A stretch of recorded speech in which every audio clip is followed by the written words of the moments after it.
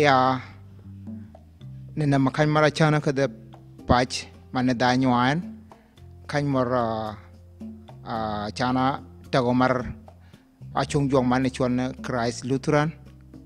Uh, Christ Lutheran wala anyua ministry atago duario pirario kore karkaja chana mor wana jitu ki jimi piri pira da kabichal jima o na kany mor do ta kanin yeshal Ah, a kwar kel ka wanen no lampor ker chungo pur chata nyim kalam ah, a kwar jiwa de plan mudwong ke perji mantu ne kan mor jowa kan plan ne dogo mutente la me dogo ah, mutente me wo chipin kan mor wo manyang ti tija chuma man a wo manyang no timo wori chawa tuo bangji mo an waro mo neɗɗo e man tewne kañumoro jogga e ji walla jog worgue woro ke beete mano beete kañ. Ke par kañ ɓe kañumoro kañumoro jeeyi royen ye nenema kañumoro a cuwa walla tij mara jog bon mo ceppeñ ne jeccata kono negani pi put ngata goni dow lam. Kono lam mana gona a maña a maña pene jide ko ñeyi ba ñeyi bongo me juuro. Koore gina tiye ginago a ciɓang wo puɗo a koni muña dëkken. Na deken abirna chil na amanya nyei ro, ro lam man The glory of God shines forth in Jesus, suffering and bleeding and dying for The, our uh, sins. most of the service is done in Anuaks, and most of the preaching is done in Anuak. Uh, the liturgy is the same as the Lutheran Church liturgy, so one can follow along. Some people understand just An- Anuak.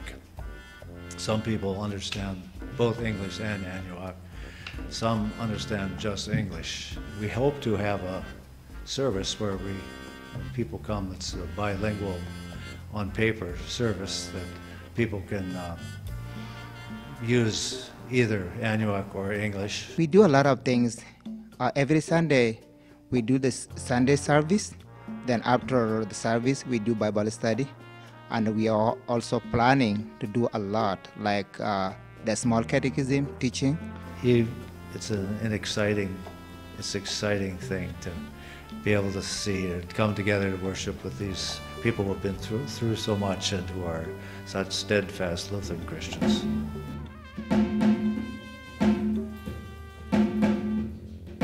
Look at these disciples. When Jesus died on the cross, Jesus is hanging on the cross. Where are the disciples? They run the other way. They, they run away from him. the ministry now is our all plan it is to reach out to the people who are not coming to the church or who are not serving the lord there is a lot of Anuak people uh, who are sitting down some don't know even god we need to reach to them so that our kids also we are planning for them because when they rise up they need to be they need to know god uh, we want to show them the right way because there is a lot of ways now that uh, make the kids lost the, in this country. Isaiah saying that people, some, most of the people have don't believe in God.